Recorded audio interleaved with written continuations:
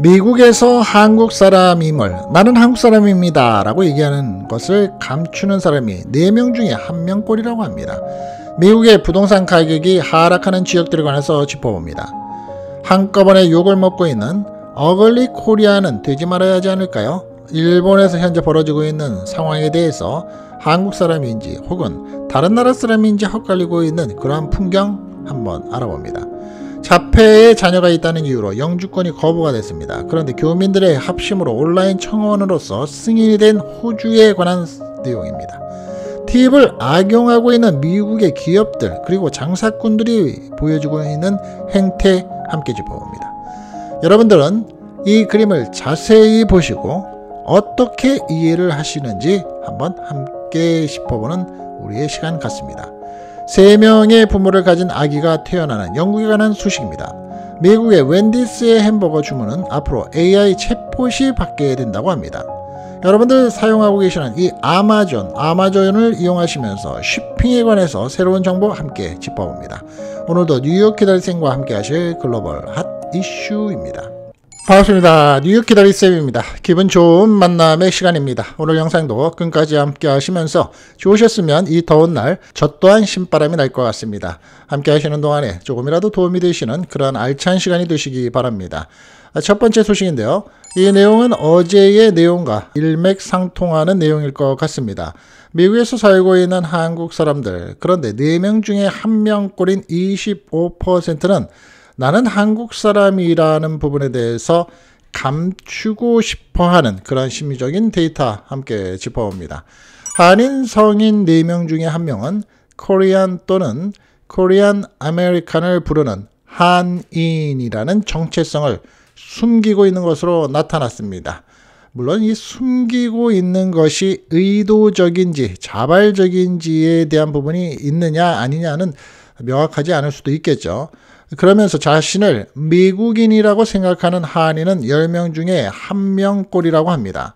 자, 이런 내용은 어제 말씀드렸었던 것처럼 이 8일에 퓨 리서치가 아태 문화 유산의 달을 맞아서 공개한 특별 보고서에서 나타났는데요. 보고서에 따르면 비아시아계가 정체성을 질문할 경우, 즉 백인이나 흑인들이 질문을 할 경우에 상대방이 문화적 배경을 이해하지 못하거나 차별적인 생각을 줄 수 있다라는 이 선입견 때문에 숨기는 경우가 많은 것으로 나타났다고 합니다. 전체 아시안의 응답자의 20%가 숨긴다고 답을 했으며 이 중에 한인은 25%로서 가장 높았다고 합니다. 자, 연령대로 보면 18세에서 29세가 39%를 차지했고 남성보다 오히려 여성이 더 많았다고 합니다. 학사 이상 소지자가 45%로 파악이 됐고요. 또한 해외에서 출생한 아시아 이민자들인 경우에는 자신의 출신 국가를 공개를 했지만 미국에서 태어난 2세들일수록 자신의 정체성을 Asian American 또는 Asian으로 이 설명하는 경우가 많았다고 합니다.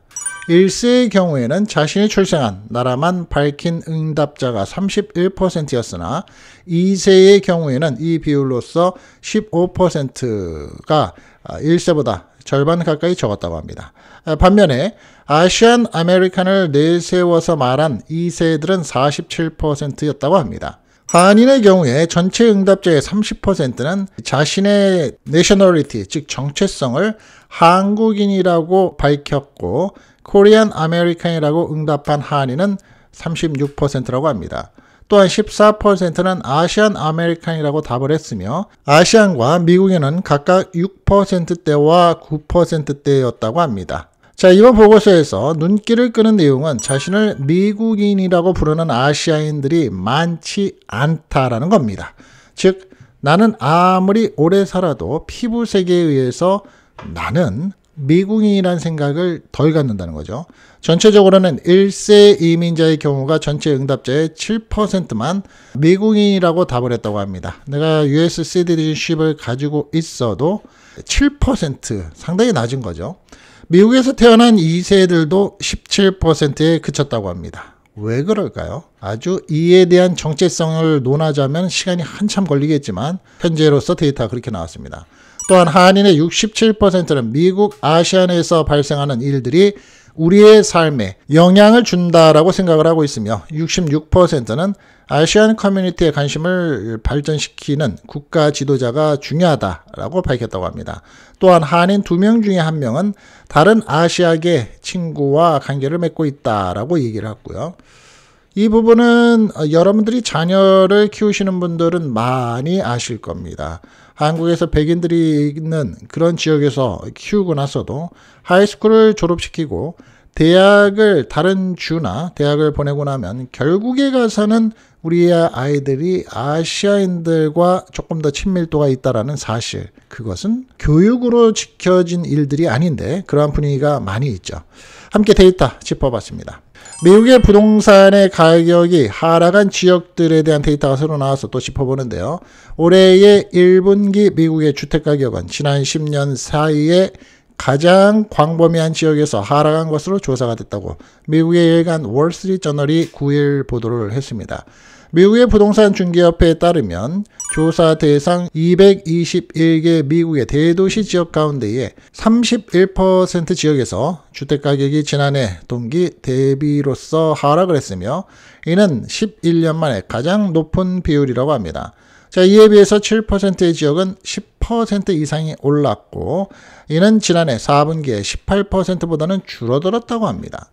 과거의 부동산 호황기에는 집값이 미국 전역에서 상승을 했으나 현재 주택시장은 중서부와 남부, 북동부 지역에서는 여전히 강세이지만 서부 지역에서는 약세를 보이는 등의 양분화가 돼 있다고 합니다.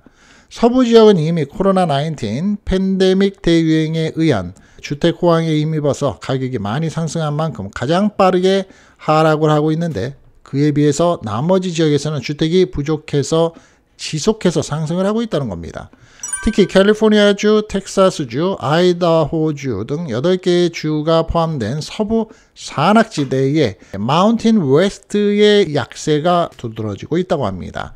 샌프란시스코의 기존 단독주택의 가격 중간값은 지난해 동기보다 14.5%, 세너제이는 13.7%가 각각 하락을 했으며 팬데믹 호황의 중심지였었던 텍사스주의 어스틴과 아이다호주의 보이시도 10%, 즉 10% 이상 내렸다고 합니다. 주택 판매는 높은 담보대출, 주택 모계지의 담보대출이라고 하죠. 금리가 주택 수요에 있어서 구매하는데 부담을 주고 공급도 줄이면서 감소세를 보였으며 그 같은 감소세가 주택 가격에 미치는 영향은 지역마다 달랐다고 합니다.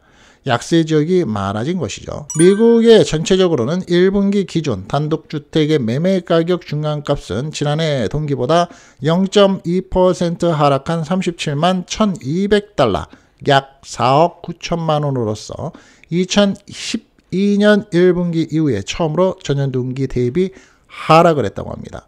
단독주택의 일반 모계지의 월 상환액은 1,859달러, 즉 247만 원으로서 지난해 동기보다 33%나 증가를 했다고 하고요. 많은 분들한테 참고가 되시기 바랍니다. 자, 지금 현재 관광을 많이 떠나고 있습니다. 특히 이 한국 분들은 일본과 베트남 그리고 동남아시아를 많이 가죠. 왜냐하면 제주도에 가는 비용이나 오히려 이 엔화의 영향 때문에 일본을 가는 경우가 아주 비일비재합니다. 물론 일본 사람들도 한국을 엄청나게 방문을 하고 있죠. 한꺼번에 욕먹은 일들이 있는데요. 아무래도 관광객이 많다 보면 욕을 먹을 일들이 발생을 하겠죠. 사람 사는 데니까 말입니다. 그런데 어글리 코리안이 되지는 말아야 되지 않을까라는 주제 한번 짚어보는데요. 일본을 찾는 여행객들이 폭발적으로 증가를 하면서 일본 국민들이 관광 공해로 몸살을 앓고 있다는 소식이 현지에서 나오고 있습니다. 9일 일본 3대 시사 주간지로 꼽히고 있는 슈간 신초의 인터넷판 데일리 신초는 코로나19 사태로부터 일상을 되찾아가는 가운데 일본 각지에서 관광객이 폭발적으로 증가를 하고 있다면서 관광업계에서는 기쁨의 비명이 터져 나오는 반면 프라블럼들이 늘고 있다. 라고 보도를 하고 있는 거죠. 첫 번째 사례로 꼽힌 곳은 만화 슬램덩크의 명소로 알려진 예나 지금이나 인기를 아주 장기적으로 끌고 있는 일본 만화들이 있죠. 뭐 코난, 그리고 슬램덩크 이런 것들이죠. 가나가와 현의 가마쿠라 고교 앞역 부근의 건널목이라고 합니다. 해변을 따라 열차가 달리는 이곳은 관광객들로부터 매일매일 아주 북새통을 이룬다고 합니다. 기사는 에노덴, 즉 열차가 건널목을 통과할 때를 놓치지 않고 사진을 찍으려는 관광객들 중에는 차도를 가로질러 돌진하는 사람도 있으며 건널목 앞에 정차한 차를 둘러싸고 사진에 방해가 되니까 빨리 비키라는 듯 창문을 두드리는 사람이 있을 정도라고 지적을 하고 있습니다. 건널목 근처에 맨션에 사는 한 여성은 인터뷰에서 떫은 표정으로 한국인이나 중국인이 많은 것 같은데 매너가 너무 없습니다. 페트병이나 음식물 쓰레기를 버리는 것뿐만이 아니라 아파트 화단에 소변까지 봅니다. 관리인이 처음에는 주의를 줬지만 요즘에는 아예 포기한 상태라고 한탄을 하고 있다고 합니다. 가마쿠라시로부터 업무 위탁을 받아서 건널목에서 관광객에게 안내 및 주의를 주는 경비원은 하루에 1000명 정도는 온다. 뛰지 마세요. 화단에 올라가지 마세요라고 해도 아무도 안는다고 했습니다. 기사는 또 슬램덩크를 좋아하는 친구가 있어서 따라왔는데 여기는 한국인들만 있어서 한국에 있는 것 같다는 한국 관광객의 인터뷰도 소개를 했습니다. 활황을 겪으며 몸살을 앓는 곳으로는 도쿄의 유명 사찰인 센소지가 있는 아사쿠사도 꼽혔다고 합니다. 아사쿠사의 한 찻집 주인은 외국인은 늘었지만 돈은 잘 안 씁니다. 가게에서 주문할 때도 인원수만큼 주문하지 않습니다. 얼마 전에 왔었던 동남아시아의 관광객은 8명이서 한 접시만 시키더라고 말을 합니다. 또한 촬영 금지 규칙을 어기고 무작정 찍거나 음료를 시키고 주전 부리는 외부에서 가져온 것을 먹습니다며 한숨을 쉬고 있다고 합니다. 아사쿠사의 한 호텔 지배인은 관광객이 비품을 가져갑니다. 구두 주걱이나 샴푸, body wash 병 등을 가져가지만 체크아웃 후에 뒤쫓아갈 수도 없고 그냥 어쩔 수 없지 하면서 넘긴다며 푸념을 했습니다. 한국 분들은 설마 없겠죠? 라고 바랍니다. 하지만 있을 겁니다. 그리고 이것은 다른 나라 사람들이 더 많겠지라고 생각을 하면서도 설마 라고 생각을 합니다.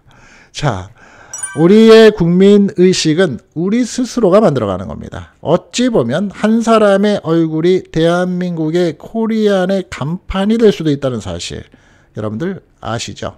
네. 우리 시청자분들, 뉴욕 키다리쌤의 시청자분들만큼은 어디 가서도 앞으로 휴가철이 되시죠. 이제 5월달 중순 이후가 되니까 휴가철이 됩니다. 어디 가서도 한국 사람, 코리안들은 어쩔 수가 없어. 라는 그러한 말이 나오기보다는 야 역시 요즘에 대한민국 잘 나가는데 케이팝, 케이드라마 한국 사람들은 역시 다르구나. 옷을 입는 것도 다르고 말하는 것도 다르고 정말 매너가 있어 국민성이 저러니까 잘 사는 나라가 돼가는 걸 거야 라는 소리를 나 한 사람 혹시나 내 주변에서 한국 사람들이 혹시 그런다면 한마디 했다가 괜히 싸우니까 그래도 조심스럽게 많은 사람들이 보고 있습니다. 일본도 카메라가 많습니다. 라면서 한마디 스쳐 지나가듯 위트 있게 좀 지나가면 어떨까요? 저는 개인적으로 그렇게 생각해 봅니다. 자폐가 있다라는 자폐의 자녀가 있다라는 이유로 영주권을 거부당했습니다. 그런데 주변에서 많이 교민들이 협조를 하고 응원을 해주면서 온라인 청원이 이루어졌는데 그래서 승인을 받은 호주에 관한 얘기입니다. 호주에 거주하는 교민 가족이 자폐 자녀가 있다는 이유로 영주권 심사에서 탈락을 한 뒤 3만 명이 넘는 온라인 청원 덕분에 영주권 승인을 받았습니다. 호주 공영방송 등에 따르면 2013년부터 호주에서 거주해온 한인 교민 양유진 씨의 가족은 2021년 7월 영주권 신청을 했으나 아들의 자폐 진단 등 의료 기록 문제로 영주권 발급을 거절당했다고 합니다. 이에 따라서 양씨 가족은 행정재판소에 항소했지만 지난해 7월 기각이 됐습니다. 호주 이민법은 당국이 영주권 신청자의 건강 기록을 확인한 뒤에 건강상 이유로 영주권 승인을 거절할 수 있도록 규정을 하고 있으며 이 조항은 장애인 등을 부당하게 차별한다는 비판을 받아오고 있다고 합니다. 이러한 사연이 알려지자 이민부 장관 재량으로 영주권을 내줘야 한다는 온라인 청원 운동이 시작이 됐고 3만 명이 넘는 사람들이 청원에 동참을 했습니다. 청원에 서명한 사람들은 어린 아이로 인한 사회보장 제도의 경제적 부담이 과대평가될 수 있으며 지난 10년 동안 양씨 가족이 호주 사회에 기여한 공로 등을 간과해서는 안 된다라고 지적을 했습니다. 이런 청원에 힘입어 양씨 가족은 지난 8일 영주권을 얻게 됐으며 양씨는 세상은 여전한 살만한 가치가 있으며 더 나은 미래를 얻게 될 것이라고 말을 하기도 했습니다. 앞서 말씀 줄인 주제와 연이인다면 이게 한국 사람의 파워이겠죠. 한국 사람들이 힘입어서 또 마음이 하나로 모아져서 3만 명 이상의 청원 운동을 했으니 목소리가 커진 겁니다. 그렇죠. 이러한 proud 할 수 있는 일들이 있다라는 점, 한국 사람은 대단하다라고 생각하는 점, 이러한 가치관으로서 우리가 이민 생활을 해 나가기를 여러분들과 저와 각성해 봅니다. 미국에서 팀 문화는 필요악입니다. 때때로 요즘 같은 분위기 속에서는 좀 thinking about을 하는 경우도 있긴 있습니다. 팁을 악용하는 미국의 기업과 장사꾼들이 있기 때문입니다. 잘 들어보십시오.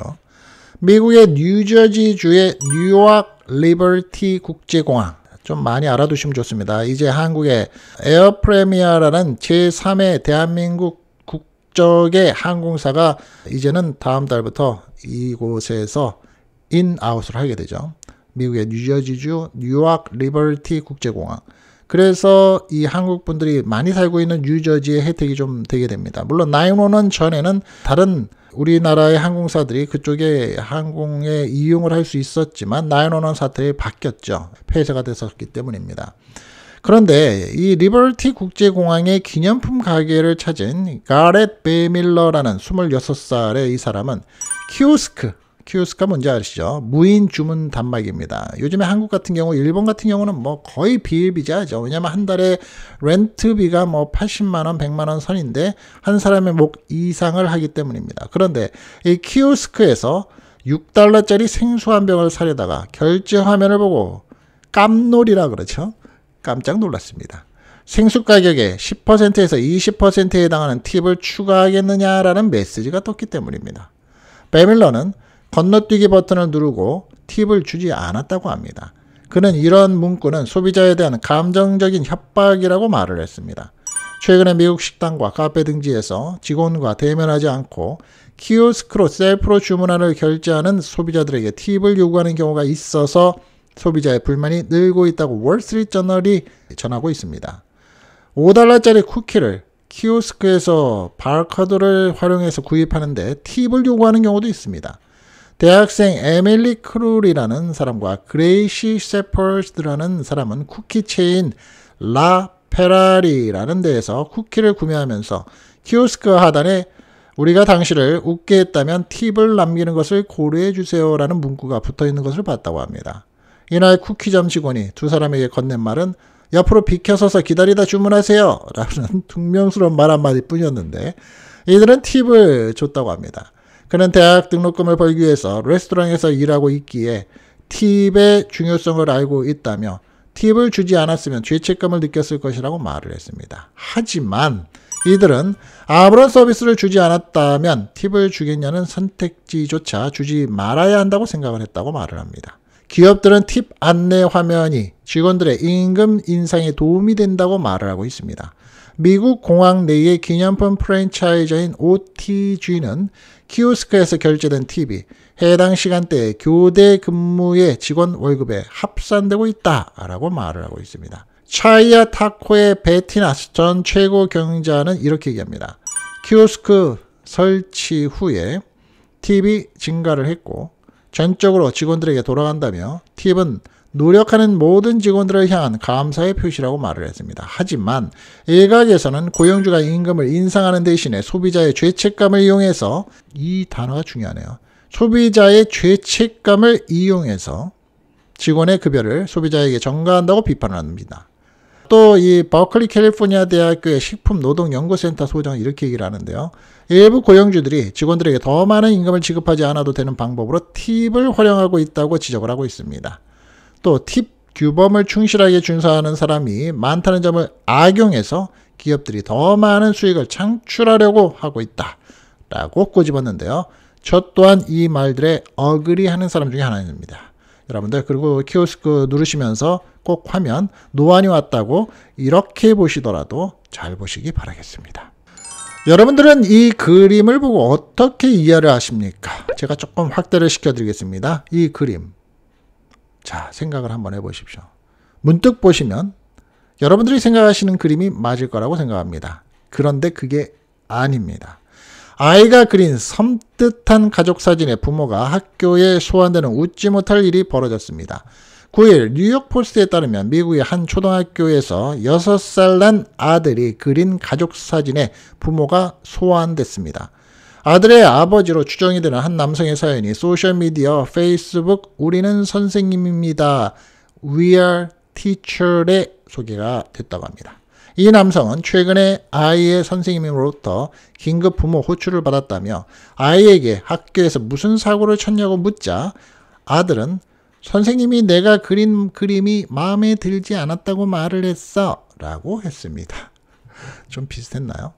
자, 이어서 그는 다음날 학교에서 선생님이 아이의 그림을 꺼내며 무슨 일인지 설명해 달라고 했다며 그 그림은 아이가 수업 시간에 그린 가족 사진이었다고 했습니다.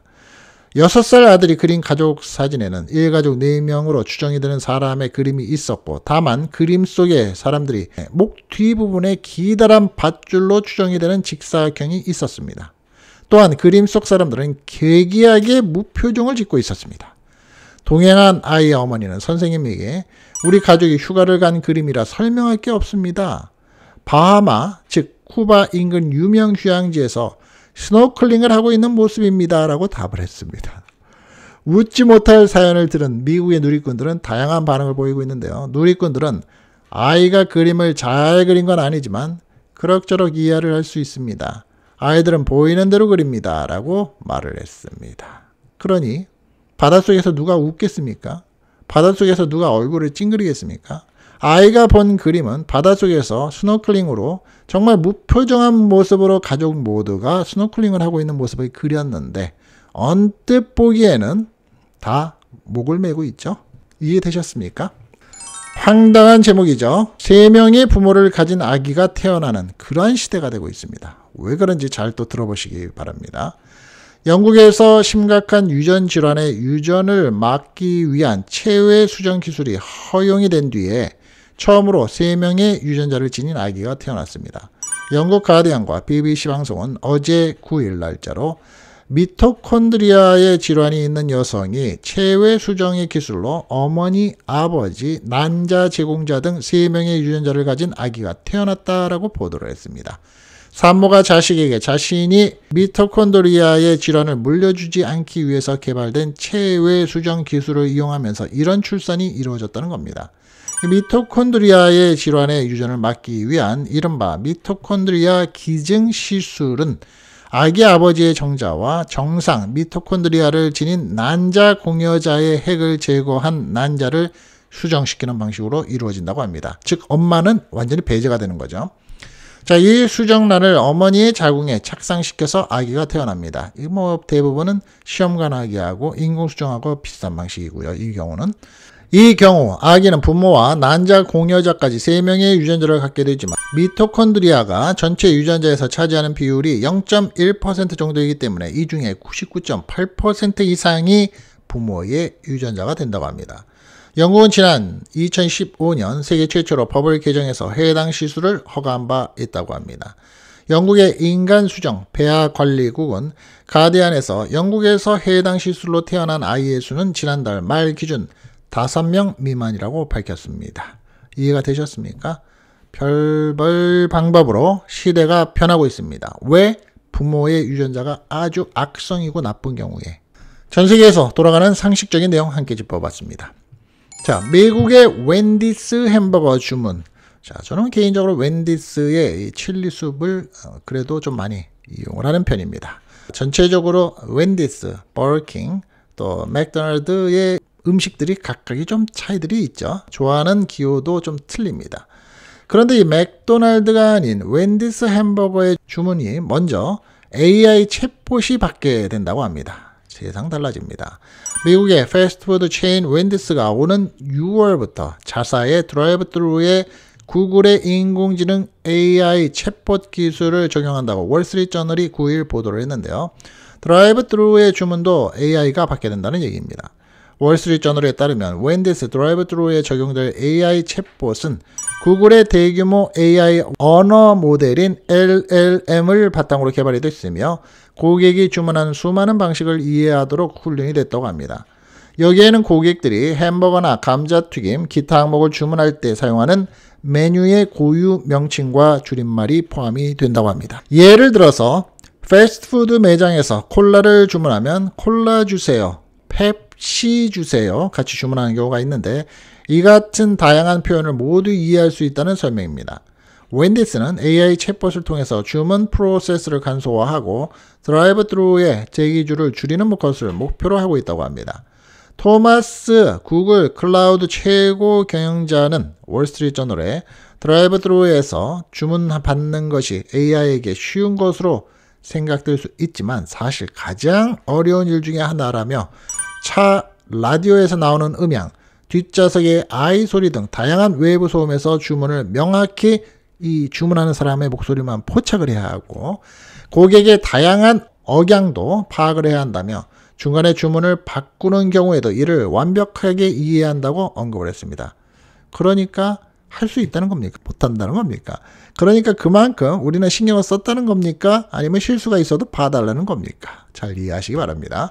웬디스 CEO도 이렇게 또 얘기합니다. AI 챗봇의 도입은 구조조정 계획과는 관련이 없다며 새로운 기술이 기존의 직원들의 업무 수행에 도움이 될 것으로 기대를 하고 있다라고 얘기를 하고 있습니다. 조만간 어 이거 뭐지? 드라이브 트루를 갔는데 어 이건 뭐야? 사람 목소리는 아닌 것 같은데? 그러다가 몇 번씩 콜라 주세요 콜라 주세요 콜라 주세요. 뭐 이렇게 반복하는 일도 있으실 것 같습니다. 한동안은 말입니다 아마존 이용하신 분들 뭐 많으시죠 거의 한두 번쯤은 이용을 하실 텐데 앞으로 이 내용 꼭 알아두셔야 될 것 같습니다 세계 최대 전자상거래 업체인 아마존이 미국에서 주문 상품을 직접 수령하는 고객들에게는 10달러, 즉 한화로는 13,265원 정도를 제공하기로 결정했다고 합니다. 9일 로이타 통신에 따르면 아마존은 연간 139달러의 비용을 내는 아마존 프라임 가입자들에게 최근에 이런 내용의 이메일을 보냈습니다. 25달러 이상 주문한 고객이 아마존 프레시나 홀푸드, 콜스와 같은 지정된 장소에서 물건을 직접 수령할 경우 10달러를 지급하는 겁니다. 왜 그럴까요? 이제는 free shipping을 점점 없애겠다는 소리입니다. 이해되셨습니까? 아마존, 프레시나 홀푸드는 아마존이 운영하는 식자재 마켓이죠. 백화점인 콜스는 2019년부터 아마존과 제휴해서 물건을 수령, 반품하고 있습니다. 아마존의 이런 정책은 증가하는 배송비를 줄이기 위한 것이라는 로이타의 분석이 나오고 있고요. 아마존 프라임의 가입자들은 현재 주문 물품을 무료로 배송받거나 반품을 할 수 있죠. 뉴욕의 한 배송 컨설턴트인 한 사람의 얘기는 이에 대해서 아마존이 배송 비용을 절감할 좋은 기회라며 소비자들도 매장에서 상품을 반품하는 데 더 익숙해질 수 있도록 할 수 있다고 평가를 하고 있습니다. 최근에 의류 매장인 자라, 에버크롬비, 스포츠 브랜드인 풋라커 등 많은 업체가 배송 비용을 줄이기 위해서 무료 배송 옵션을 재검토하고 있는 것으로 알려졌고요. 글로벌 경기가 어려워지고 인플레이션이 지속되면서 비용을 절감하기 위한 기업들이 허리띠를 졸라매면서 생겨난 현상이라고 합니다. 아마존도 그동안 비용 상승으로 배송 및 반품 서비스를 일부 변경해 왔고 지난해에는 프라임의 회원의 연간 가입비를 20달러에서 139달러로 인상을 했고 150달러 미만의 식료품의 주문에 대해서는 최대 10달러의 배송비를 부과하고 있습니다. 또한 미국의 배송업체 UPS를 통해서 이루어지는 일부 반품에 대해서는 원달러의 수수료를 부과하고 있습니다. 이렇게 된다면 또 불만이 나오죠. 이에 대해서 소비자 불만도 제기되고 있고요. 뉴욕에 거주하고 있는 한 사람은 로이터 통신에 아내와 나는 배송 혜택 때문에 프라임 회원을 유지하고 있다며 만약에 무료 배송이 아니라면 무엇 때문에 돈을 지불해야 하나라고 말을 하고 있습니다. 자 오늘 제가 준비한 영상 여기까지입니다. 여러분들에게 좀 도움되셨습니까? 어떻게 하신다고요? 도움이 되셨으면 좋아요 버튼 이 더위에 한 번씩 눌러주시면 저 역시 감사드립니다. 오늘 처음 방문하신 분들께서는 알람 설정과 함께 구독 버튼 해주시면 여러분들 영상에 저녁 영상도 함께 하실 수 있다는 점 참고하시기 바랍니다. 함께 해주신 여러분들께 대단히 감사드리고요. 또 내일 시간에는 더 좋은 영상의 내용으로서 찾아뵙겠습니다. 뉴욕 기다리 쌤이었습니다. 감사합니다.